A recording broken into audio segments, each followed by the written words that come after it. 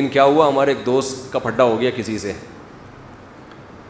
तो फड्डा जब हो गया तो वो गलती इन साहब की थी, जो हमारे दोस्त थे, इनकी गलती थी।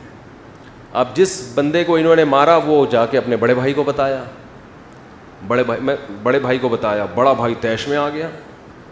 और उसका नाम उसका नाम, मैं पूरा नाम ले उसका नाम फ़र्ज़ कर लो, जैद था। जिसने मारा ना छोटे भाई को, किसी के छोटे भाई को जिसने मारा, उसका नाम क्या था?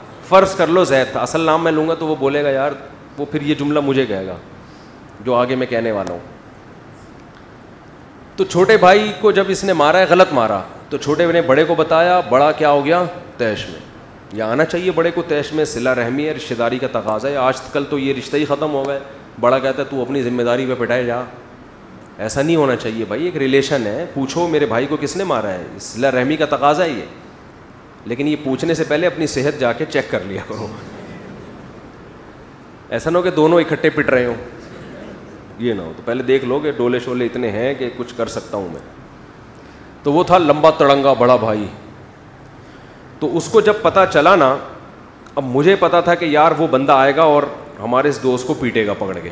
तो मेरी दोस्ती थी, मैं इसको बचाना चाह रहा था कि यार कुछ सोलो सफ़ाई कर लेते हैं। तो मैं जब उसके पास गया, उनके घर गया मैं तो बड़ा भाई गुस्से में बैठा हुआ है, कह रहा है, हुआ क्या है? मैंने कहा, हुआ तो ये है। उसने कहा, जैद पिटेगा। जैद? अल्फाज उसके मुझे स्टाइल याद आ रहा है। मैंने कहा, यार, रिक्वेस्ट लेके आया हूँ। कह रहा है, ये हुआ है ना? उसने मेरे छोटे भाई पे हाथ उठाया, मैंने कहा, जैद पिटेगा। जैद, ये खबर है, ये न्यूज़ है, कुछ भी हो जाए, जैद असल तो ये था जब उसका नाम लेता मैं, फिर मज़ा आता ना, लेकिन फिर वो कहेगा, मुफ्ती साहब, पिटेगा. मेरा नाम सबके सामने ज़ाहिर कर दिया। तो वो बार बार मैं उसको रिक्वेस्ट कर रहा हूँ, यार, पहले ज़रा समझो बात को, मैं माजरत कर रहा हूँ। कह रहा है, मुफ्ती साहब, ये बताएँ। कह रहे, मैं आपकी इज़्ज़त करता हूँ, मुफ्ती साहब। लेकिन ये बताएँ, उसने मेरे छोटे भाई पे हाथ उठाया, मैंने कहा उठाया? कह रहे, गलती उसकी है ना, मैंने कहा। जैद पिटेगा। तो मुझे उस, ये वाक्य कम से कम चौदह पंद्रह साल पुराना है, लेकिन मुझे उसका स्टाइल बड़ा अच्छा लगा। कह रहा है, कुछ भी हो जाए जैद पिटेगा। समझ रहे हो? खैर, नहीं पीटा, फिर हमने पढ़ के दरमियान में सुलो सफ़ाई करवा दी।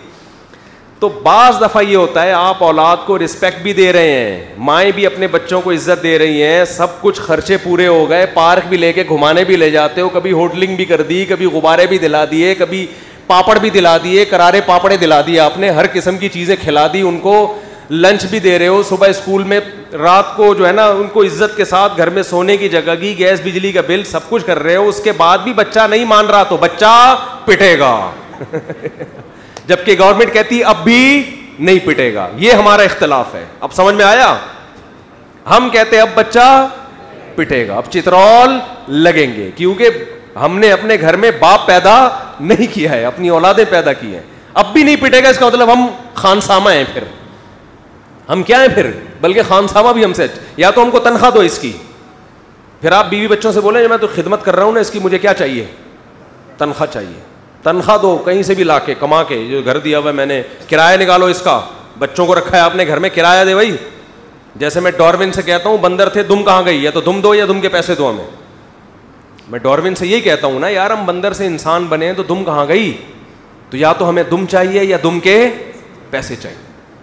तो बच्चों से बोलो कि अब भी अगर नहीं पिटेगा तो इस घर का जा साइकिल की दुकान खोल, पंचर लगा और मुझे इस घर का किराया दे। बीवी से भी बोलो कि मैं इस पोजीशन में आके भी आँखें दिखाने के काबिल नहीं हूँ तो अपने भाइयों से बोलो, इस घर का मुझे किराया चाहिए।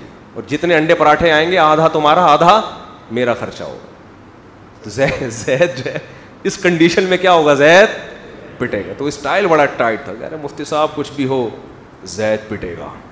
वो जैद की जगह वो नाम आता, फिर मज़ा आता, लेकिन वो जैद में मज़ा नहीं आ रहा। आधा मज़ा तो आ गया, लेकिन जो पूरा नाम आता, फिर खैर वो नहीं पिटा अलहमदिल्ला बच गया वो। तो पता नहीं कहाँ से कहाँ बात चली थी, जहाँ मौजू इधर उधर हो गया। खैर, कोई मसला नहीं है। हमने कौन सा कोई थीसिस तैयार करने हैं? एम इस्लामियात के आपके पेपर होने वाले हैं कि एक टॉपिक पर आपको। आप तो वाजो नसीहत चाहिए ना। वाजो नसीहत बिखरी हुई ही अच्छी होती है। समझ रहे हो? बिखरी हुई वाजो नसीहत क्या होती है? अच्छी होती है। जो काम की बात आए पार्सल कर दो। तो जो जो अल्लाह दिमाग में डाल रहा होता है, हम यहाँ से क्या कर रहे होते हैं? पार्सल यार, कोई भी अच्छी बात, अल्लाह हम, सुनने को मिल जाए और अमल की तोफ़ी मिल जाए। सुबह अल्लाह हम दिखा नशद फिर